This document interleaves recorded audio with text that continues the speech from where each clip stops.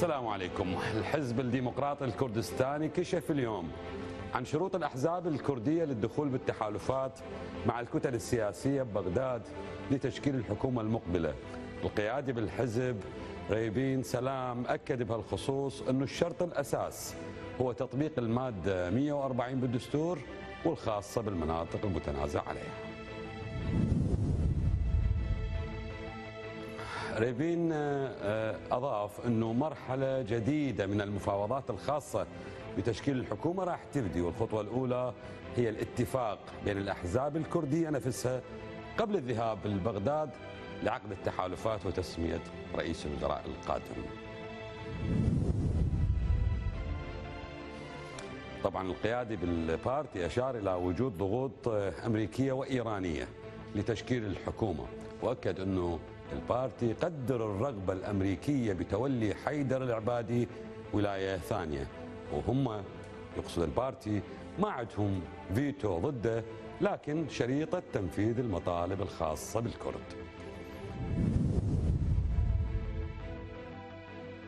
بهالخصوص يجب التذكير بالتخوف اللي عبر عنه تحالف الفتح قبل أيام بنتحدث عن اللي سماها منزلقات وأطماع الأحزاب الكردية.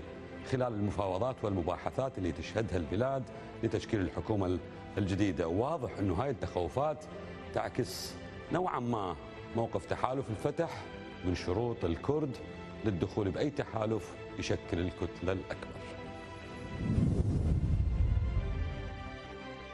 هاي التصريحات أثارت انتباهنا اليوم أما ملفنا لهذه الليلة فهو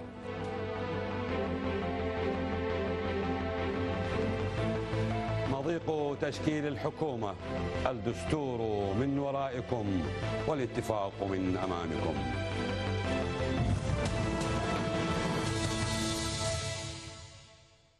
أمهاتنا قبل يقولن كلها تريد والدرب بعيد. يقولن هالشكل من تتراكم عليهن المتطلبات ويحتارن بتنفيذها. نفس الشيء فيما يخص تشكيل الحكومة. كلها تريد والدرب بعيد. وكلها يعني القوى السياسية والمكونات والدستور. كلها ضاغطتنا وتطالب بحقها. وبنفس الوقت نعرف إنه أكو تضارب بالإرادات وحسرة بالتوقيتات. الداعي لهالمقدمة هو اللغط المتصاعد حول استحقاق تشكيل الحكومة اللي بدأ يوصل للمحطة الأولى بعد إعلان نتائج الانتخابات. إي نعم بدينا نعرف رأسنا من رجلينا بالتوقيتات الدستورية. بس بالتوافقات والترشيحات سالفتنا تايهة. شنو الصاير؟ الصاير إنه إحنا بمرحلة انتظار مصادقة المحكمة الاتحادية على النتائج. وبمجرد المصادقة راح نحط رجلنا على سكة التوقيتات الدستورية اللي تذبح ذبح وما بيها نقاش. وأول محطاتها هي انعقاد الجلسة الأولى اللي لازم تنعقد بعد المصادقة على النتائج ب 15 يوم كحد أقصى. وبرئاسة أكبر الأعضاء سنا اللي هو بهاي الدورة الفائز محمد زيني عن التحالف المدني الديمقراطي. هاي الجلسة لازم يتم بها انتخاب رئيس البرلمان ونائبيه. وراها رئيس البرلمان يفتح باب الترشيح لرئاسة الجمهورية لمدة ثلاثة أيام. تتقدم بها الأسماء اللي تنطبق عليها المعايير. وهنا مجلس النواب عنده مجال 30 يوم حسب الدستور يقلب أسماء المرشحين ويختار واحد منهم رئيس للجمهورية. إذا الجماعة الله طابهم برحمان ومتفقين فممكن انتخاب رئيس الجمهورية خلال أسبوع. أما إذا ما متفقين فممكن يأكلون ال 30 يوم كلها. ما نريد ندوخكم. بحسابات تقريبية حالمة. أول جلسة ممكن تنعقد يوم 15 9 وبحال مشت الأمور بدون عرويجات. وانتخبنا رئيس برلمان ووراها اتفقنا على رئيس جمهورية خلال المدة الدستورية. ورئيس الجمهورية كلف مرشح الكتلة الأكبر. فراح نلقى نفسنا أمام موعد تقريبي لجلسة منح الثقة للحكومة بداية شهر 11 بس بيننا وبينكم هاي كلها أحلام. أما الواقع فكوابيس. أولها مثلا أنه السنة الهسة ما متفقين على شخصية تترأس البرلمان. عندنا بهالخصوص محمد الحلبوسي ومحمد تميم وطلال الزوبعي وأسامة النجيفي اللي أبدى رغبة بالعودة لكرسي القديم. بالنسبة للحلبوسي صعبة حسب ثقافتنا الاجتماعية وثقافة الطبقة السياسية الحالية. يترأس أعلى سلطة تشريعية بالبلد شاب ثلاثيني. تخيلوا رئيس جمهورية بالسبعين ورئيس وزراء فوق الخمسة وستين وياهم شاب ثلاثيني. وليش ما نتخيل يابا لا نتخيلهم ثلاثتهم ثلاثينيين. قابل ماكرون أحسن من عندنا؟ زين. محمد تميم شنو؟ محمد تميم خبرته جيدة. نائب ثلاث دورات وزير سابق بس يحتاج ظهر نيابي وسياسي واتفاق مكون. وتبدو حظوظه أكثر من طلال الزوبعي. أما النجيفي فيراد لتوافق شيعي كردي يقولون صعب يتحقق. لكن إذا فرضنا أن السنة اتفقوا على مرشحهم لرئاسة البرلمان ما لازم ياخذون قبول الشريك الشيعي واللي هو أيضا يحتاج قبول سني. على مرشح لرئاسة الوزراء والاثنين يحتاجون يراجعون الكرد لو هي قدرة كل هذا لازم يمشي بظل توقيتات ما تقبل أي تأخير. على حد السكين شغلة بايقة طنهوة لذلك مثلنا السابق كلها تريد والدرب بعيد كلش راهم. يعني التوقيتات الدستورية لازمتنا من خوانيقنا. والتوافقات رابطتنا بحبل. والصراعات الداخلية لمكونات معطلتنا والعامل الخارجي حاطنا بسجن وكلها تريد والدرب بعيد. ايباه أمهاتنا إيش قد يفتهمن؟ بس والله لو نخليهن هن يختارن الرئاسات كان فضنها من وقت.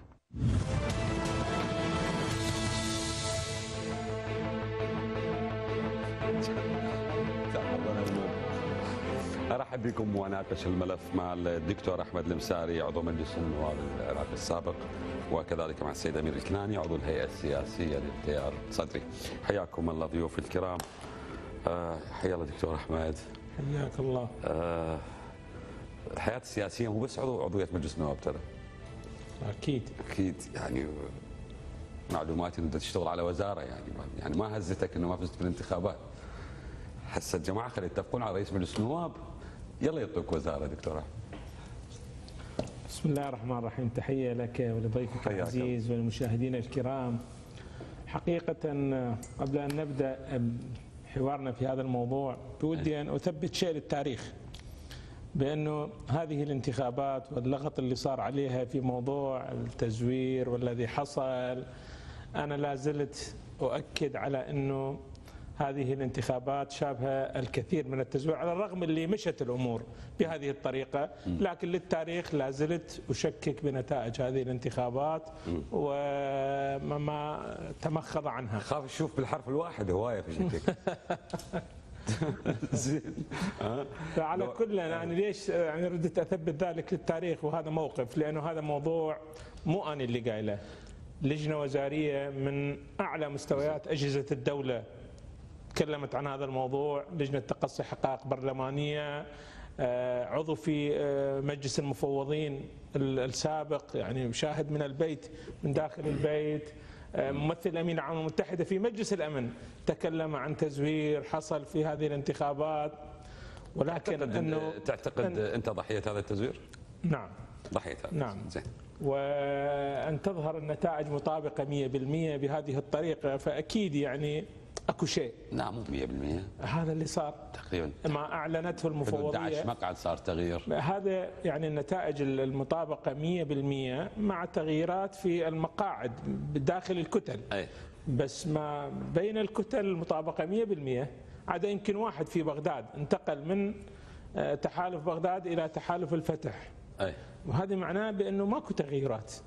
ما صار تغيير بال على كل أنا اردت بس أثبت هذه جيد. ال- الحقيقة خلينا للتاريخ جيد. خلينا ندخل بموضوعنا أيضا والحديث عن الانتخابات وتزويرها يمكن راح يبقى لي سنوات نعم، تنكتب صحيح. عليها مقالات ويجوز مجلدات.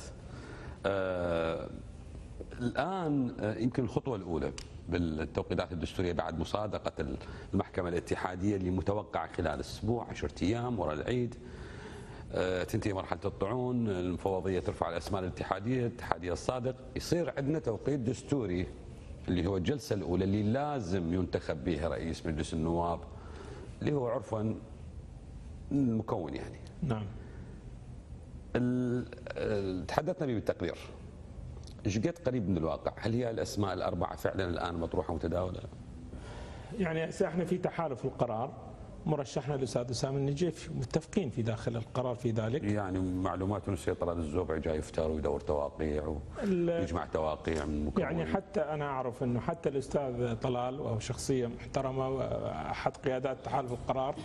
بس هو أيضا المرشح الأول أسامة النجيفي هو يقر بذلك. زين. آه، والكتل السياسية الأخرى أيضا. الأستاذ أسامة يلقى ال- ال- الاحترام والتقدير من كتل سياسية أخرى.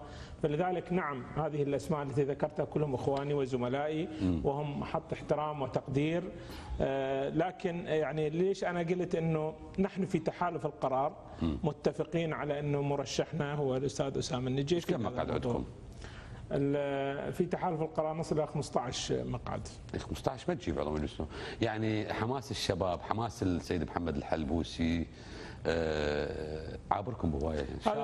هذا الموضوع لا زال لا زال لا ما يخالف بس لا زال في موضوع المقاعد وعدد المقاعد ما محسوم لأي طرف من الأطراف هسه من يقول إنه فقط ال 15 هم فقط للاستاذ أسامة النجيفي ولا العدد الفلاني للشخص فلان أو فلان.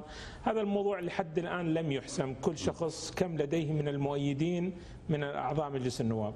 القضية تروح على المقاعد. لو تروح حصة مكون لازم المكون بكل نوابه وقياديين مؤثرين خارج مجلس النواب يقعدون ويتفقون. بطريقة توافقية على أنه مرشحنا فلان. وهذا اللي حصل بالدورة الماضية. زين. عندما صار ترشيح للشخصيات وجلس المكون كله واختار شخص وقدم كمرشح للمكون لهذا المنصب لأنه كما حضرتك قلت إنه العرف السياسي المعمول به معلومات تقول خلال الآلية. الفترة نعم، الماضية صح العرف السياسي أنه يقدم من المكون الفلاني. معلوماتي إنه الدورة الماضية صار بها الدكتور سليم الجبوري رئيس مجلس النواب بنفس الآلية الآن المعتمدة من قبل الداعمين للسيد محمد الحلبوسي. وقد تنجح مرة ثانية. وإذا نجحت يعني جيد لا, لا ضير في ذلك. على كل عندما تكون الآلية توافقية وبرضا جميع آه، قيادات المكون وأعضاء المكون فلا بأس في ذلك. جيد. آه، سعد أمير إحنا بدينا بمنصب مجلس النواب لأن الجلسة الأولى تحكمنا إنه لازم ننتخب آه، رئيس مجلس النواب يمكن هسه ما أقول بعض السياسيين خلينا نقول آه، أكو غالبية من ال- الجمهور آه، ما عندها هاي ال- ال- ال- الفهم الحقيقي بالدقه شنو طبيعة التوقيتات الدستورية؟ يا ريت بحكم كونك مختص بهالموضوع وتعرف الدستور بس توضح لنا بعد المصادقة إيش راح يصير؟ وقبل المصادقة إيش راح يصير؟ وين لحد ما نوصل إلى إنه حكومتنا حكومة 2018 تنال الثقة؟ نعم، بسم الله الرحمن الرحيم شكرا لك وشكرا للمشاهدين ونرحب بأخينا الدكتور أحمد اخوه زميل عزيز آه، بالنسبة للتوقيتات الدستورية إحنا عندنا المواعيد الدستورية ابتداء هي صار بها خلل على اعتبار إنه المفروض قبل 45 يوم تجري الانتخابات جرت المفروض خلال 45 يوم تجري كل هاي الاجراءات المصادقة والجلسة الأولى وما شابه حتى لا يكون لدينا فراغ في السلطة التشريعية وغياب. احدى السلطات. هذا اللي جرى بعد ما تم إعادة الفرز آه، والعد. الآن نرجع إذا ما صد أعلنت النتائج يوم الخميس ومده الطعن ثلاث اليوم أيام بدأت. اليوم بدأت. ثلاث أيام. آه. عشرة أيام بعد ما تنتهي الثلاث أيام. ملزم الهيئة القضائية أن تنظر بالطعن خلال عشرة أيام هاي العشرة الأيام راح تكون حساسة. إذا كانت قرارات متعلقة بإعادة عد وفرز بعض المحافظات راح تتغير تتأخر النتائج. إذا ما صدقت آه، النتائج أو ردت كل الطعون بالمعنى الأدق هنا ستعود المفوضية وترسل كتاب إلى المحكمة للمصادقة المحكمة الاتحادية العليا. المحكمة الاتحادية يعني العليا. قدامنا 13 يوم. 13 يوم. 13 هذا يوم. إذا إذا ما صار أي شيء أي قرار إذا ما صار. زين. آه، قرار عطلة العيد النتائج. عطلة العيد القادم هي من ضمن هذه 13 يوم راح تنحسب لو ما تنحسب. ال- ال- اليوم الذي يليها إذا دخل العيد زين. وتعتبر انتهت العشرة أيام اليوم الذي يليه يعتبر اليوم الأخير. نعم خلال العشرة أيام. لكن المحكمة ال- الهيئة القضائية اتخذت بعض الإجراءات بهذا الخصوص. أي. قالت أن العشرة أيام تسري علي من تاريخ وصول ال- الأوليات وإجابة المفوضية. بمعنى الآن شخص قدم طعن ورفع الطعن مالته. إذا ما مجاوب المحكمة العفو المفوضية ما تسري العشرة أيام على المحكمة. لازم تجي الأوليات كاملة يلا تحتسب العشرة أيام. هاي رأي الهيئة القضائية وهو رأي صائب وصحيح حتى تستطيع أن تنظر بالطعن. إذا انتهت ماكو أي مشكلة عندنا وكل المحكمة ردت الاتحادية. المفوضية ردت أو تم إذا ردت لا تتأجل. شلون اللي صار عندنا ب 2010 اعاده عد وفرز في بغداد. تأخرنا شهرين أو ثلاثة أشهر. يعني راح نبدي أيضا ماراثون جديد. أي قرار يصدر من الهيئه القضائية بإعادة أي عد وفرز لأي محطة لأي مركز انتخابي لأي محافظة. ما تصادق النتائج. ننتظر النتيجة لازم. تتوقع على سياسة مشي الحالة اللي حكى بها دكتور أحمد أنه ممكن يصير إعادة عد وفرز لو يمشي طعن من الطعون اللي راح تتقدم خلال هال يعني؟ من خلال عملي بالقانون وبالسلك ال- قريب من السلك القضائي يعني عندنا 28 قاضي تقريبا آه، 16 قاضي بتسعة تقريبا 23 أو 24 يمكن. مال 16 محافظة لا حتى اقليم الشمال عفوا. صار 19 قاضي وعندنا تسعة ستة- بالضبط 26 قاضي تقريبا. يعني وقرارات كلها قضائية صحيح هم عملهم منتدبين كمفوضين بالتالي هي قضائية من ثلاث قضاة تجي تلغي قرارات ل قرارات 26 قاضي. قاضي. يعني عندنا مراهم مثل ما يقولون. بس إحنا الجنايات بنصدر قرار ثلاثة. نتميز القرار. هي لازم أكثر عددا. خمسة أو سبعة. لكن هاي حالة استثنائية. زين. وكانوا جاي تقول إحنا رايحين للمصادقة. للمصادقة. لا مو للملمة. للملمة. لا لا لا أنا كلامي دقيق. ال- القضاء عرفا. الهيئة القضائية أو أي لجنة قضائية عندما تصدر قرار لتنظرها عدد قضاة أكثر زين. عادة وخبرة أكثر. يعني إحنا الموجودين نفس الصنف تقريبا. الهيئه القضائيه صنفهم ما يختلف عن الصنف اللي موجودة به الهيئه القضائيه الموجودة الآن. وهم هي قضائية القضاء. محكمة التمييز ثلاث قضاة. ثلاث قضاة اللي أشرفوا على الانتخابات 26 20 قاضي. قاضي.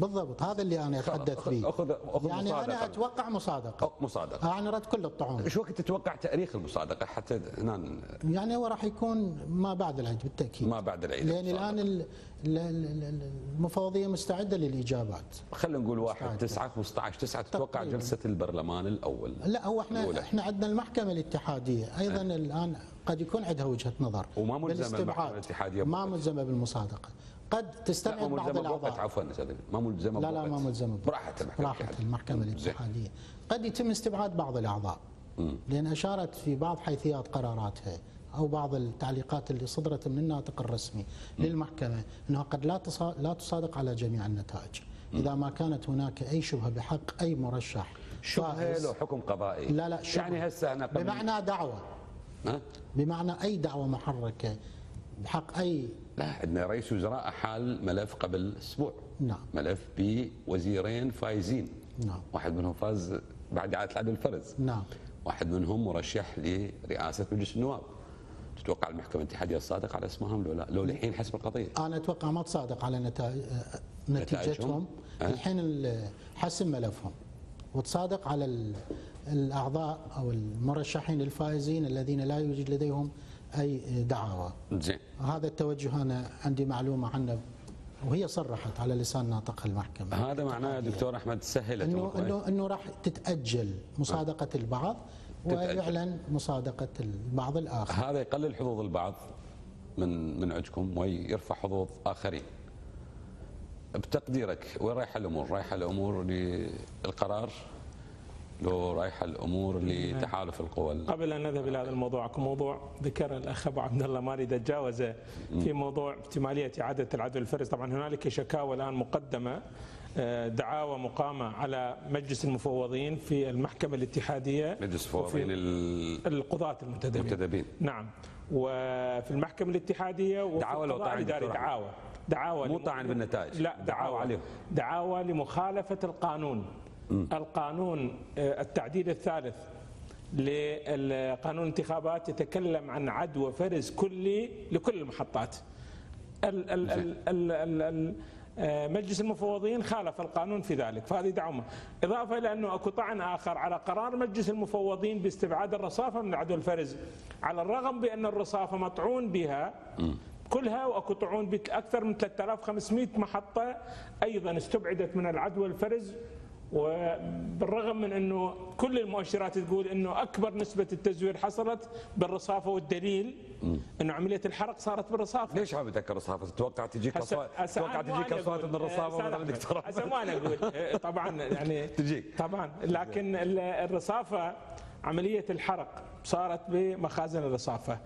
وكل الجهات المعنية بالموضوع قالوا بفعل فاعل. تذكر خب زين. كلها صرحات قالوا بفعل فاعل وأكو لجان تحقيقية وأكو تحقيق بالموضوع. لم نسمع نتائج لهذه التحقيق. بل وحتى تصريحات اللي كانت إنه ال- الصناديق لم تتأثر. إنه دقه دقة ورغبة القضاة المنتدبين بأن يكون نتيجتهم دقيقة، كان راحوا لاي صناديق بالرصافه وعدوها وفرزوها، بس قال لك لا عندي باركود، لا عندي أجهزة تحقق، لا عندي شلون أنا؟ وهي شنو معناها؟ فقال أنا هاي بالنسبة شنو لي معناها؟ رصافه ها شنو معناها؟ معناها إنه نتائج الرصافه غير دقيقة ومشكوك بها اذا لا يمكن الاعتماد عليها. القانون أخي أحمد، القانون. تكلم كان بوضوح يقول يلغى العدوى الفرز الإلكتروني. إن خلاص إذا العدوى الفرز الإلكتروني ملغي إذا نتائجه ملغية وفق القانون. التعديل الثالث المادة الأولى منه هو المصادق عليه المحكمه الاتحادية. إذا كيف تعتمد نتائج؟ الرصافة اللي هي أصلا ملغية بوفق القانون. هذا خرق كبير. في العملية الانتخابية وفي يعني في قرار مجلس المفوضين. لذلك أقول لك ترى الطعون تريد نصيحة من كثيره تريد نصيحة من أخوك. أنا أعرف إن الأمور قد تتلملم وتمشي. لكن أنا. قلتها ترى اللي قدام قلتها ترى للتاريخ. جيد. وخليك خليك آه، آه، قوي بالتفاوض ويا القرار. وشوفونا رئيس مجلس نواب حتى العجلة تمشي. هسه جماعة- إحنا إحنا ما جماعة ناويين. أ- أستاذ أحمد إحنا ترى ما جاي نوقف شيء أو جاي نعرقل شيء. لكن حتى يعني أنت جاي تثبت حقائق جيد. وتساير تمشي أنت لكن تثبت الحقائق لا، لا. وتحط الأمور في لا، نصابها لا، موقفين. وخلاص لا، كمكون أنا راح أسألك سؤال. أنا أسألك سؤال باكر إذا صادقت المحكمة الاتحادية إيه. خلاص راح نتعامل مع المصادقة. صحيح ولا مو صحيح؟ سنتعامل مع المصادقة. إذا ما صادقت مع العلم ترى هذه راح يعني حتى تنطي تشكيك في المحكمة الاتحادية في عمل المحكمة الاتحادية. لكن سنتعامل مع مصادقة المحكمة الاتحادية جيد. وسنمضي باختيار رئيس مجلس نواب والرئاسات الثلاث وتشكيل الحكومة لأننا لا نريد يعني آه، شو تقول تفليش العملية السياسية تهديم العملية السياسية. نريد أن نحافظ على هذا الأمر. كنا نريد أن تمشي الأمور في نصاب صحيحة لكن مو كل اللي تريده تقدر تسويه. زين. خاصة طبعا أنا حتى مجلس القضاء أقول الله يعينه لأنه عليه ضغوطات سياسية كبيرة جدا. وبعض الأحيان يقدر يعني يقف بوجه هذه الضغوطات وبعض الأحيان ما يقدر يقف زين. إذا كان آه، الولايات المتحدة الأمريكية وإيران مؤثرة على اختيار رئيس الوزراء من المؤثر على اختيار رئيس مجلس النواب من الدول الإقليمية؟ أنا حتى أكون واضح وصريح. نعم ال ال ال القرار عراقي لكن أبدا آه، لا يخلو من التأثيرات الخارجية. زين. حتى نكون واضحين إحنا ليش يعني لازم ما نجامل ونتكلم صراحة ووضوح ليش ماكو تأثيرات خارجية؟ تقصد ائتلاف القرار لا العراقي لا لا ال- القرار القرار وطني يقصد القرار وطني وطني. عراقي زين. لكن لا يخلو من التأثيرات الخارجية. حتى نكون صريحين ويا شعبنا ويا ناسنا. الخلاف الإقليمي انعكس لا، لا، أبداً، يعني- مثل ما الخلاف الإقليمي الدولي بين أمريكا هسه يجوز ينعكس على رئاسه يجوز. يجوز فلان من ال- ال- ال- ال- المرشحين آه، عنده علاقات صداقة كذا مع الجهة الفلانية بس هذا لا يعني بأنه أن يكون لهم تأثير مباشر على القرار يجوز أحمد ملا طلال يكون عنده علاقات صداقة وعلاقات تربطة مع الطرف الفلاني. هذا لا يعني أن يكون ال- القرار مرتبط بهذه الجهات تحسموها بنقاط؟ انطينا نسبة للنقاط وعدد المقاعد انطينا نسبة لنفوذ الشخصيات وعلاقات. حتى اكون حتى اكون نسبة حتى أكون صريح وياك. هذه الأمور لحد الآن كلها مطروحة إيه، للنقاش لكن لم يعني لم يبت بها. إيه أنا أقول لك هي أكو مشكلة مو ماكو مشكلة. لم يبت بها لحد الآن لأنه ظروف العملية الانتخابية ما كانت ظروف طبيعية. ولا زلت أقول هي مو ظروف طبيعية ونتائجها مو طبيعية. فيعني مو يعني مشكلة عندنا إنه الأمر تأخر إلى الآن. ما العملية الانتخابية كلها تأخرت ونتائجها تأخرت وهذه الخربطة اللي صارت بالعملية الانتخابية أكيد انعكست على عملية الاختيار داخل المكون وداخل هذه القوى السياسية. على أساس وأنا على اعتقد أساس أيضا ترى- المكون الآخر حاسم أمره. بالضبط. فأنا. ترى أنا أعتقد إنه الأمر أيضا سيطول. ما, ما- راح يعني ينجز بهكذا بسهولة. لأنه خلاص. شلون إذا صادقت المحكمة الاتحادية؟ خلاص ملزمين أنتم الدستور. أكيد يعني. أكيد المدد الدستورية. بس صدقني يعني في نهاية المدد الدستورية كلها يلا راح يحسم الأمر. يصير الحسم إيه في فاخر نهاية المدد الدستورية. بالضبط. إيش قد تأثير ال- المكونات على بعض أستاذ أمير في هذا الموضوع؟ يعني ال- المكونات التحالف ال- ال- ال- الوطني السابق آه، لها تأثير على من يكون رئيس مجلس النواب؟ شنو رأيهم أنه السيد أسامة النجيفي يعود إلى المنصب؟ شنو رأيهم أنه شاب مثل محمد الحلبوسي يصير؟ آه، شخص أكتف مثل محمد تميمي يصير أو السيد طلال الزوبع عندهم رأي لو يعني راح أتحدث لك عن عقلية التحالف الوطني. السابق. قبل ما يتهيكل. يميلون إلى رئيس مجلس نواب ضعيف. ضعيف. ونائب رئيس مجلس نواب من التحالف قوي. هاي الفلسفة العامة. زين. قبال إيش راح يقوى عندي؟ يقوى عندي رئيس الوزراء. لأن إذا رئيس مجلس نواب قوي قد يشل عمل وحركة رئيس مجلس الوزراء. رئيس مجلس الوزراء هو من التحالف الوطني للدورات السابقة. يعني يكون النائب. الأول- النائب هاي- الأول هاي هاي هاي قوية من التحالف الوطني حتى. العامة. لذلك انت من اعطيتني هاي الأسماء إيه. أنا أقول لك مجموعة أسامة بحساباتنا نعتبرهم من الصقور. من الضروري عدم دعمهم بالعقلية اللي كنت أتحدث بها. واضحة الفكرة؟ اي واضح. فبالتالي راح أنا منكم اشرط شرط إذا تجيبون أسامة رجعوا المالكي فبالتالي بالتالي مع حفل الألقاب طبعا. إيه، مع مع جل احترام جل لكل احترام ألقابهم. للجميع. بس هاي الفلسفة اللي يشتغلون تشتغل بها القوى السياسية. لذلك أنا سيناريو 2014 ما أتوقع راح ينعاد أستاذ أحمد. زين. لأن عندنا متغيرات دخلت على الملف. وهي؟ هي الشارع والمرجعية. بس العامل الإقليمي موجود من 2005 موجود. بالتأثيرات. لكن الآن الشارع والمرجعية من دخلت على الخط بهذا الثقل القوى السياسية الآن قاعدة تعيد حساباتها. وبالتالي أعتقد هذا راح يولي الضاغط لأن تكون ال- ال- الاختيارات على أقل تقدير بشكلها الصحيح نوعا ما ولو 50% من الخيارات.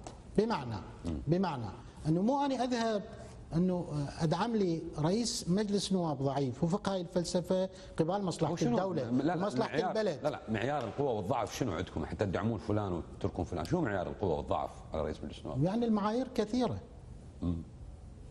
الض- ضعفه هو ضعف رئيس مجلس النواب قبال قوة التحالف والعدد ال- الرقم اللي يمتلكه يعني بمعنى أنا أنا أقيلك.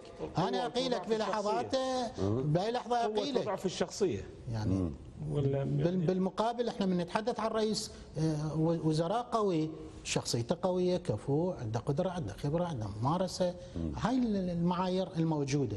لذلك أنا من نتحدث إنه ما يكون المفروض ما تصير مغامرة باختيار رئيس مجلس نواب لأن هذا يمثل ال- الدولة يمثل ال- ال- ال- الأمة الآن الموجودة على المستوى الدولي على المستوى؟ المحلي. سأل يعني هو له حق حصري للمكون له هذا كان سؤال الأساسي. يعني تدعمون بالمفاوضات تدعمون شخص على حساب شخص. له حق حصري للمكون يختار مثل ما أنتم تشوفون كشيعة تشوفون حقكم الحصري ان تختاروا رئيس وزراء. يعني إحنا نتمنى تتغير هاي المعادلة. وعرضت على الإخوان لأكثر من مرة زين. إنه هاي التراتبيه خلينا نغيرها. إنه ليش بالضرورة أن يكون رئيس مجلس نواب آه، سني؟ ليش ما يتغير الموقع؟ ورئاسة الجمهورية يتغير. حتى سماحة السيد طرح أكثر من ذلك بصراحة. إنه رئيس ليش رئيس الوزراء إلا شيعي عربي؟ هل يجوز أن يكون كردي شيعي مثلا؟ كيف عليها إحنا فهذا مطروح الآن. رئاسة الوزراء. ليش؟ بالبيان ال- ال- النقاط اللي ذكرها سماحة السيد ما اشترط أن يكون ال- ال- الشيعي عربي بمعنى إنه الإخوان إذا يفكرون بجدية إنه هذا الاستحقاق يعني يريدون يتفاوضون هسه كصفقة هم- كاملة بيناتهم هم كقوة مصافين. سياسية. مثلكم هي بس ما مشكلة. مصافين على رئاسة الوزراء؟ بيناتهم هم مصافين على إحنا مختلفين بالجزئيات بس إحنا نتحدث الآن عن كليات. زين. يعني إحنا الان الآن شكل الدولة الآن الكل يريد يسبقها بهاي التراتبية. رئيس مجلس نواب سني. فبالتالي المواطن هو يقول لك منين ما يجيبوا هذا الموضوع شعبيا اجتماعيا عرفا يمنا يمشي لكن غير دول ليش ما يمشي؟ ليش نشوف الشباب هم دي, دي يسلقون ويأخذون مناصب؟ وهل فعلا هذا القيادي اللي يمكن شوية السيد محمد الحلبوسي منتجي عليه كم مقعد آه، قايل هذا الحكي؟ معترض على عمر السيد محمد الحلبوسي أنا ما سامع هذا الكلام بس منو هذا القيادي؟ المنتج عليه السيد محمد الحلبوسي آه. اللي صالح اللي صالح يوم الخميس. كانت بيناتهم شوي. إي. والله يعني مو أنت طرحت ترى هو مشكلة الأخ محمد الحلبوسي هو مشكلة العمر فقط. و... ولأنه يعني إحنا في تحالف القرار قلت لك يعني إحنا ما نبدي أحد على أستاذ أسامة لأنه مرشحنا. زين. وجرب هذا الرجل. فمن تجي تحط لي اثنين بال- بال- بالميزان فأكيد راح أميل لهذا الشخص يعني بحكم العمر حكم التجربة حكم أن البلد اليوم يمر بظروف تختلف عن الظروف السابقة. اليوم البلد بظروف صعبة ال- ال- المحيط الإقليمي أيضا محيط غير مستقر. آه، قد نمر بأزمة كبيرة جدا. أنا أعتقد نحتاج إلى إلى شخصية عندها خبرة سياسية عندها آه، تجربة آه، كبير بالعمر. ممكن أن يوقفون بالأزمات الكبيرة. اللي ممكن يمر بها البلد. من هذا الباب؟ ولا أنا لا أبدا لا أشكك بوطنية أو آه، بشخصية أي واحد من إخواني وزملائي. أي بس ال- ال- الرجل عنده مقاعد وقد يساومكم بالمقاعد اللي عنده شوف ال- المرحلة الماضية رئيس مجلس النواب لم يكن آه، منه عنده مقاعد وما عنده مقاعد. زين. كان مرشح المكون كله ال 54 مقعد. والمفروض هاي الدورة أيضا نفس الشيء. أنه رئيس مجلس النواب هو مرشح المكون. خلاص كل يكون مرشح كل هاي الكتل السياسية ويمثل الكل. بالمناسبة هو يمثل العراقيين جميعا بس لأنه من هاي الكتل السياسية أو من هاي المحافظات خلاص هي هاي ال- الكتل آه، ترشح شخص ترى فيها مصلحتهم ومصلحة بلدهم. زين. أستاذ أمير إذا رجعنا لموضوع التوقيتات الدستورية إيش قد ممكن هاي التوقيتات تضغط على القوى السياسية وتجبرهم على أن يختارون ال- المرشحين الرئاسات الثلاث. وهل بالإمكان نمر على باكج واحد؟ القوانين تسمح لنا نمر على أنه يكونون بسلة واحدة رئيس مجلس نواب، رئيس وزراء، رئيس جمهورية بسلة واحدة، صارت عندنا مرة واحدة يمكن 2000 نعم 2010 2010 اتفاقية أربيل. ألف- 2010 أكو عائق قانوني ممكن ما يخلينا نمر بهاي السلة الواحدة؟ نعم بالتأكيد. في هاي المشكلة. عائق القانوني إحنا بدورتنا بالدورة الثانية. خلقنا العائق القانوني إنه تصير صفقة بالسلة الواحدة. وهو تشرعنا قانون اختيار رئيس الجمهورية. يوم 13 2 2012 فمن شرعنا هذا القانون؟ اي إيش قال هذا القانون؟ قال تتقدم السي فيات لاختيار رئيس جمهورية وثلاث أيام لغرض دراستها، هاي ش- ولمن تقدم؟ ما تقدم لرئيس السن، تقدم رئيس إلى مجلس رئيس النواب مجلس المنتخب. وأيضا دخلنا المحكمة الاتحادية على الخط. انه يخاف يكون- أحد خاف يعني. طعن كذا هاي إيه. مدة طعن بالمرشحين ثلاث العائق القانوني الان الآن القوى السياسية تريد تتجاوز هذا العائق القانوني شلون؟ لأن ماكو ثقة بين عند القوى السياسية، الآن اللي قاعد يطرح يقولون خلينا نسوي صفقة واحدة بكتش 2010 نعيده. زين. إنه ال- بيوم واحد يتم اختيار رئيس مجلس النواب زين ورئيس الجمهورية ويكلف يكلف من هنا ما مترهم، قانون قالوا مترهم. مو مو إحنا انشوينا ب 2014 زين. والحجه وزراء نشوف ب 14 زين. فالآخرين يخافون هم ينعاد عليهم السيناريو اللي انعاد ب 2014 و- واضحة الفكرة يعني. لأن. تم اختيار رئيس مجلس نواب. واختيار رئيس جمهوريه من بقى رئيس مجلس الوزراء تغيرت الصورة. الآن هنا المخاوف. تسوي السنة والاكراد هنا المخاوف. فأعتقد الآن المشهد محدد رئيس مجلس النواب. القانون وياه. وياه. لازم دستوريا تنتخبوه بأول جلسة. زين. وعنده ثلاث أيام يفتح الباب للترشيح لرئاسة الجمهورية. كذا و... 30 عندنا يوم. قول صار. عندنا رئيس جمهورية. صار عندنا رئيس جمهورية. مو؟ إي. ولحد لا رئيس وزراء. ورئيس جمهورية عنده 15 يوم يكلف. ممكن يصير اتفاق مثل ما يسمي بعض الإخوان اتفاق جنتلمان. جنتلمان. مو؟ بين القوى السياسية. أنا أدعمك تكون رئيس مجلس نواب وندعم معا الشخصية الكردية لرئاسة الجمهورية على أمل أن تحتفظوا بهذا يعني بالوعود وتدعمون الشخصية لرئاسة الوزراء. يعني لازم نحتاج شخص ضامن. يعني ماكو جنتلمان. آه. مع احترامي. يعني القوة- الشخص ضامن. لو دولة ضامنة. المرجعية إيه. إذا تدخلت كضامنة. إذا ما دخلت ما إذا ما ما له علاقة. أبو دعاء ما مؤثر بعد. ليش؟ ما مؤثر ما عنده ذاك التأثير هو؟ وال- أو أو دعاء منه؟ تعرف الحاج قاسم سليماني ما يقدر بعد يضمن هاي قوية هاي بعدها ما يقدر الجنرال- يضمن أي الجنرال. قاسم السليماني اي اسمه أبو ما دعاء يقدر اي أبو دعاء عمرك فما تسمع جماعة. يحشون أبو دعاء أبو دعاء ها لا أول تشوف ما تعرف يا أستاذ احمد إيه. فهنا المشكلة اتفاق ما موجود زين اتفاقية الجنتلمان ممكن تمشي يعني هيك أكو ثقة بين القوى السياسية إنه نمشي آه، الشخصية السياسية الفلانية رئيس مجلس النواب ثم الشخصيه السياسيه الأخرى رئيس جمهورية. وهذا أحمد خلينا نكون واضح خلينا نكون واضح. عجب يطول شهر اتكلم أتكلم. فشق على قولة آه، ربعنا. إيه. هو هاي التراتبية وهذا هو وضع العراق يتحمل هيك شغلات المحافظات آه، منتفضة ومظاهرات ورفض لل- للقوى السياسية. زين. وهاي هم مشكلة لازم تراعى هذا الأمر. هذا هم لازم لازم تراعى. يعني إحنا اليوم هيك مسنحين وماكو شيء وال- والبلد آه، مستقر وآمن ومطمئن حكيت والكل فشق. راضية. حكيت فشق حكي زين. فشق إيه؟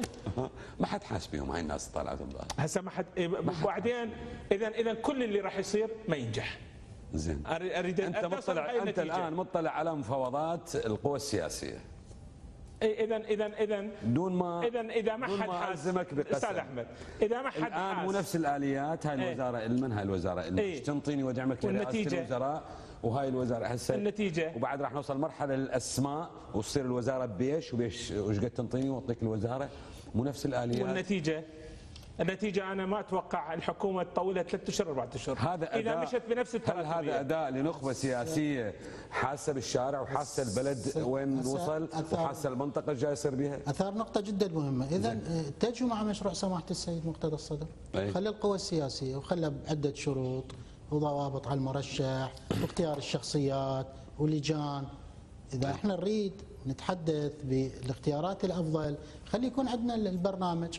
اخذوا من برنامج سماحة السيد مقتدى الصدر، ناخذ من برامج القوى السياسية الأخرى وخلينا نلاقحها ونخرج بحصيلة، خلي تخدم المواطن. اكو أكو القدرة هسه ترى أكو مو بعيد. الإنسانية. ترى مو بعيد عن هذا الكلام. التراتبية تراتبية هاي دستورية سواء مشروع سماحة السيد أو غير مشروع سماحة السيد. إحنا بس مو تحدثنا يعني مشروع سماحة السيد مو مو واقعي. ال 40 شرط مو واقعية اليوم.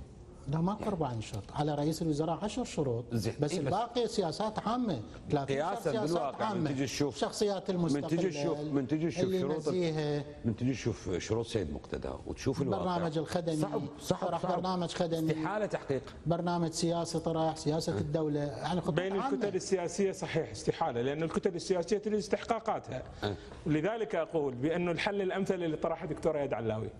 وهو؟ حكومة الإنقاذ. اليوم تنتهي ترضي الناس. الناس طالعة وما راضية على القوى السياسية من يشكلها؟ اذهب إلى من يرأسها؟ إلى إلى من يرأسها؟ حكومة من إنقاذ يشكلها؟ ورض الناس وسوي الشرعية مالتها منين كل؟ النقاط طبق كل النقاط اللي ذكرها سماحة السيد مقتدى من خلال حكومة إنقاذ لأنه أنت يعني خلاص ما حاجة التوافقات السياسية الآن جيد. وإلا هذه التفا- التوافقات السياسية راح تؤدي بينا إلى نفس المحاصصة راح يبقى ال- ال- الناس والشارع مو راضي حكومة الإنقاذ يراد لها أساس شرعي يراد لها أنه المحكمة الاتحادية الصادقة على أسماء النواب تصير جلسة أولى مجلس نواب يصير عندنا يصوت على حكومة انقاذ يحل نفسه ويخلي حكومة الانقاذ تشتغل انتخابات إنه بالدستور ما عندنا شيء اسمه حكومة ما ما عندنا هيك شيء بس يعني إذا أكو. آلية منطقية قانونية لازم مجلس النواب يقعد ويسوي. لنا حكومة انقاذ مجلس قيادة يعني هذا فد شيء صعب. هذا ها؟ فد شيء صعب ما أعرف يعني بس إحنا بدنا نحكي واقع إحنا جايين نتكلم الأمور أنا أنا ليش قلت؟ قلت لك جاي اتكلم عن يجوز. حل زين. حقيقي ممكن لكن أنا نفسك- أنا أتوقع بهاي الكتل السياسية ما يصير هذا الحل لأنه ما حد يقبل تعتبر نفسك ضحية لتزوير انتخابات يجوز تميل لهذا الحل دكتور أياد يعتبر نفسه ضحية لانسلاخ. انسلاخ بعض ال- هسه يجوز تزوير ما أعرف، بس انسلاخ بعض ال- الأطراف من الائتلاف الوطنية و- وهاي كل سنة يسووها بي زين. آه، تميلون إلى هذا الحل ال- الدراماتيكي. لكن الواقع شو يقول؟ الواقع رايحين على تصديق نتائج على جلسة أولى احتمال بالتاسع نص نص التاسع. رايحين على تشكيل حكومة مفاوضات مفاوضاتكم وين وصلت في اختيار رئيس وزراء سالم؟ يعني أكو تفاهمات. ماشيه الأمور. تفاهمات من أول لقاء بالحنانة صار بعد ال آه، صارت الحنانة قبله تتذكر قبل ثلاثة اشهر ها؟ وإن شاء الله تبقى. من أول لقاء بالحنانة نسمع موضوع التفاهمات. ما ارتقينا فوق لو وصلنا موضوع تحالف لو وقعنا ورقة لو طبعا على كل قوى المتغيرات سياسيه أستاذ أحمد المشكلة متغيرات كل من يعرف. عجبه أستاذ أمير. إعادة الفرز والعد مجددا هاي كلها مستجدات أثرت. كل ما الفترة الزمنية الآن يعني تحدثوا قيادات وقعت مثل الأخ محمد مثلا نزل من عضوية مجلس النواب. كلها تأثر. يعني أنت لازم تت- تتفق اتفاق نهائي بحالة محمد نزل محمد صعد محمد مو مشكلة. لا لا مو هذا القصد. القصد ال- الأطراف الأخرى أيضا ما مستقرة. أنت تصل مرحلة ال- ال- الاتفاق والتوقيع عندما يكون وضعك السياسي مستقر الانتخابي واستحقاقك إيش قد لين بعدين راح ما صار تغير بالحجوم. مرحلة الأرقام.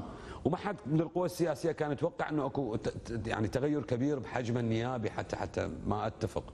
لا بالعكس البعض كان يطلب إعادة العملية الانتخابية. كانت أكو مخاوف إعادة الانتخابات إنه الهيئة القضائية اللي تكلفت إذا رأيت إنه نسبة تزوير عالية جدا وخروقات عالية قد البعض كان عنده توقع إنه يصار إلى إعادة الانتخابات مجددا وهي مطالبات فهذا جزء من التأخير على الاتفاق النهائي مع القوى السياسية. علما إنه إحنا مع الحكمة الأمر محسوم. يعني هذا اتفاق استراتيجي نعم. لا محسوم. هاي إحنا انتهينا. يعني السيد أمير الكناني يقول اتفاق مع الحكمة محسوم. أنا أعرف مع مع منو جاي اتحدث نعم. عضو تفاوضي وكلمة محسوم تطلع نعم. من رجل. الفريق التفاوضي موجودين دكتور نصار إيه، بس. قصدي من تطلع من سيد-. محسوم. نعم محسوم. مع سائرون سواء آه، مع الحكمة سواء اثنينكم معارضة واثنينكم حكومة. نعم. محسوم. نعم. اتفاق استراتيجي لدينا. زين. طبق هذا من 2013 جيد. خلي أبدو وما وياك بعدين زال انتقل مستمر. زين. وما زال مستمر. 14 دخلنا الحكومة. حكومة مستمر. الفريق القوي المنسجم. نعم. حتى أي. من انسحبنا الحكومة الجهة الوحيدة اللي التزمت بمشروع سماحة سيد هم الأخوة في الحكمة. سحبوا جزء من وزرائهم. زين. فهذا جزء من منو الأقرب لكم منو الأقرب لكم الجماعه؟ كلهم قريبين. ماكو أي خط أحمر على أي جهة سياسية. ما هنا مال كلهم قريبين. دكتور أحمد وين أروح؟ أروح أنا أقول إنه هالمكون هذا المكون السني. ما راح أشوف فيه معارضة. يعني بالنتيجة راح يضغط عليكم الوقت تضغط عليكم المصالح تضغط عليكم مصلحة المكون. إيش قد 67 نائب كلكم تقريبا؟ تقريبا. تقريبا 67 نائب. كلكم راح تدخلون الحكومة. يعني كلكم تتفقون على رئيس مجلس نواب مفهوم الأغلبية والمعارضة يمكن يمشي نوعا ما يم التحالف الوطني بس يمكن ماكو. وحتى نوعا ما يم الكرد ماكو. يعني كل الكرد في الحكومة كل السنة في الحكومة فريقين فقط من جزء من الشيعه يروحون المعارضة. وهذا ما كنا نعمل عليه. إحنا من البداية أنا في لقاءات سابقة وياك ولقاءات أخرى كنا نأمل أن يكون كتلتين بالبرلمان قريبة من بعضها. ما جات. كتله تشكل حكومة خلاص أخذت النص زائد واحد. وكتله مقابلها معارضة تراقب عمل الحكومة وتصوب عمل الحكومة. لا اكو هيك. شيء لا ما لا لا يعني أنا أقول لك ليس كل ال 67 نائب اليوم في آه، خانة واحدة. والدليل إنه إحنا حتى على رئاسة آه، مجلس النواب لم نتفق لحد الآن. أنا أقول لك أكو كتلتين. أكو كتلتين. إحنا بعدنا ما ما, ما ناضج هذا الأمر لكن أكو كتلتين. بالنتيجة تتفقون. بالنتيجة إنه إحدى الكتل تروح لل للحكومة والكتلة الثانية تروح للمعارضة. وهذا هو الأفضل يعني لو تسألني يعني هو هذا الأفضل إيش قد مترهين بالقرار أنتم اللي تطرحون للحكومة؟ هذا يعني يعني رئيس مجلس النواب يستلم من عندكم؟ يعتمد على تفاهماتنا مع الكتلة اللي راح تشكل حكومة، إحنا عندنا منو برأيك إحنا عندنا تشكل مطالب؟ وعندنا نقاط على رئيس الحكومة ان ياخذها ترى إحنا عندنا مشاكل كبيرة ما متجاوزينها ولا زالت هي الهدف اللي نشتغل به، عندنا اعاده أعمار مناطقنا، عندنا نازحين، عندنا معتقلين، عندنا مختطفين، عندنا مشاكل كبيرة. هذه هذه الملفات لا زالت تحت اليد ولها أولوية ونشتغل عليها مع أي رئيس وزراء قادم. فاليوم إحنا مصلحة المحافظات اللي اللي جينا من عندها هي ال- ال- البوصلة اللي توجهنا باتجاه الكتلة اللي ممكن نتفاهم وياها. هو هذا اللي جاي يصير بالتفاوض؟ حسب أنا دا أقول لك إي نعم هذا. حسب هذا من. طرفنا هذا من طرفنا أنا أتكلم.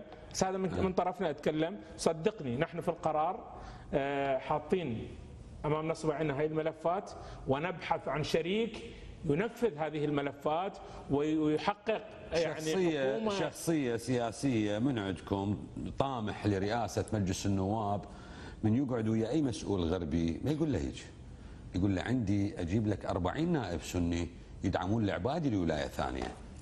وانطيني رئاسة مجلس النواب. لا يقول له ملفات المناطق المحررة ولا يقول له النازحين ولا يقول هسه انت قاعد وياهم؟ هسه قاعد ما قاعد. المهم أنا أنا لا اعتقد أنا لا أعتقد ذلك ابدا. يعني ال ال ال ابدا. هاي في كل اجتماعاتنا في كل لقاءاتنا في كل هذه الملفات حاضرة أمامنا. ونريد رئيس وزراء آه، قوي ويريد يصلح وشجاع. و شنو الشرط الثالث؟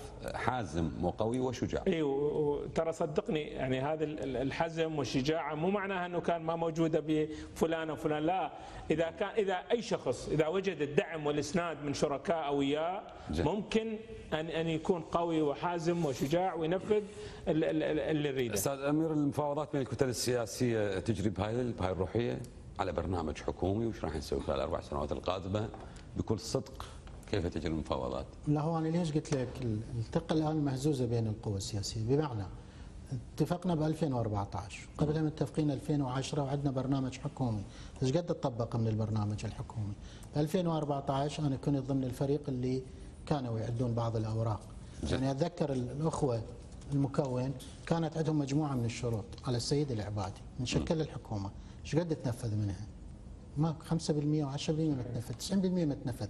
صارت عليه متابعة صارت رقابة صارت محاسبة ما موجودة. فباقي القوى باقي القوى السياسية نعم سقف مطالبها عالي حتى الكرد من يجون سقف مطالبهم عالي. بس من يدخلون بالحكومة؟ هاي كلها الذوب وين الذوب؟ ذوب أمام المصلحة الخاصة الشخصية. هي هاي المشكلة عند القوى السياسية. يعني من يزعل أنت ترضيه بموقع مثلا موقع سينا وصاد وبالتالي القضايا الاستراتيجيه يعني الحديث عنها يكون ثانوي. تنعكس الصورة بعد تشكيل الحكومة. لذلك إحنا نقول خلينا نتفق على البرنامج. الآن كل ما انت إحنا قاعد نتحدث عن أسماء.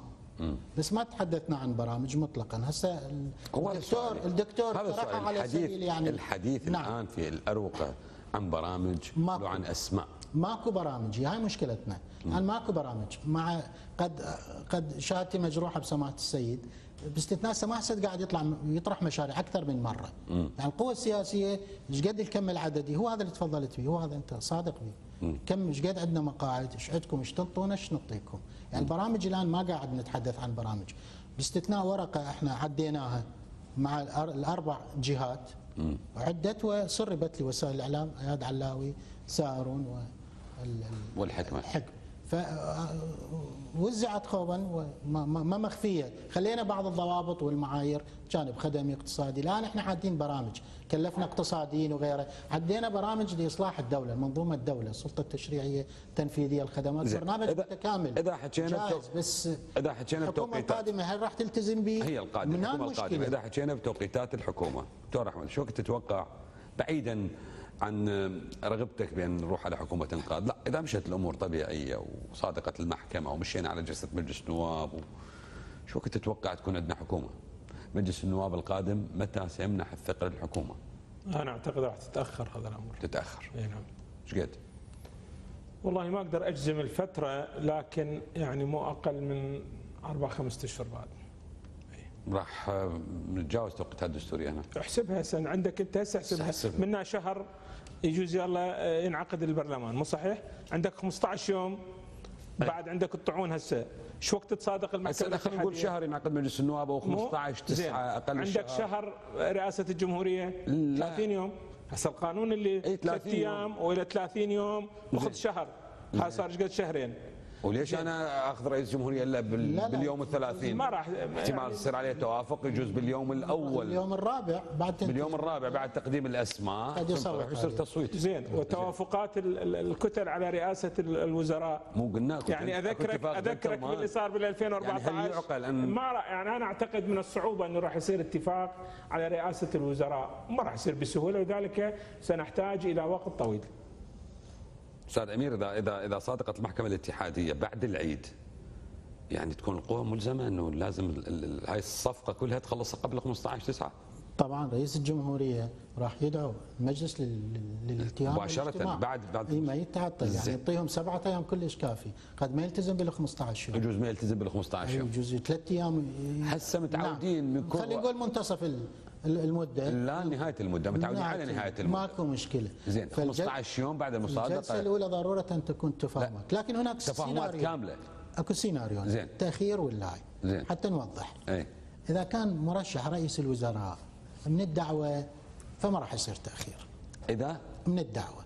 إذا رئيس الوزراء من الدعوة؟ الدعوة ما راح يصير تأخير. زين. إذا مو من الدعوة قد هاي المدة اللي يتحدث عنها. راح؟ يكون هناك تأخير. ليش؟ لأن صعوبة ال... راح الاختيار. راح يزيد عدد المرشحين؟ الاختيار لا راح تجد أمامك عراقيل كثيرة زين دعوه لتشكيل د- دعوة الحكومة. سابق يعني دعوة أصيل داعيه أصيل بس هو يسموه بالتنظيم يمشي؟ المهم إذا من جسد الدعوة راح يعجلون بتشكيل الحكومة آه. آه. إذا مو من الجسد لا راح يخلون كوابح وعراقيل أمام تشكيل الحكومة بعدكم آه، دزوا رسائل غزل للسيد العبادي لا إحنا السيد العبادي آه، مرشح من بين المرشحين ماكو فيتو على السيد ماكو فيتو. العبادي بترشيحه. ولا دعم. لا ما داعمين. لكن يعني يكون من بين المرشحين لا ضير. زين. ماكو مانع. عندنا فيسبوك مو شباب؟ رعد حمدوش الغزالي السلام عليكم. كتلة النصر في طريقها إلى الانشقاق وسيحظى من يلتحق بالفتح أو سائرون أو كليهما بمنصب رئاسة البرلمان بعد إبعاد العبادي عن الولاية الثانية. ويطمح إلى البرلمان أكثر من شخص من أبناء الطائفة الكريمة لكن العبيدي أقرب حظا فيه مع إمكانية غيره. وهذا يعتمد على طبيعة التحالفات التي ما زالت غامضة ومرتبطة بأشياء أخرى. الوزراء يقصد، قد لا مو البرلمان. كثير. يتكلم. نعم؟ العبيدي. لا ده يتكلم عن السيد ال- خالد العبيدي. خالد العبيدي. هاي فرصة أسألك سؤال بقلبي من زمان وأسأله. هو صدق أنتوا ليش استبعدتوه من ال- ها؟ من الأسماء؟ ليش استبعدتوه؟ مو إحنا مستبعدين ما أعرف. مو إحنا مستبعدين. يمكن أنتم كمكون مستبعدين. تاكيدي على أنه هو جزء من النصر. لحد ال- اليوم هو عنده تأكيد إنه جزء من النصر ودعم للسيد العبادي. يميل إلى هاي الكتلة العابرة للطائفية. يجوز من باب إنه إذا صار السيد العبادي ما ممكن يصير هو، ما يصير رئاسة ال- ال- الوزراء والبرلمان للنصر اثنيناتهم. دكتور أحمد المساري عضو مجلس النواب السابق. آه، شكرا جزيلا لك. سيد أمير الكناني عضو الهيئة السياسية للتيار شكرا جزيلا لك. شكرا لكم. نشوفكم باكر إن شاء الله.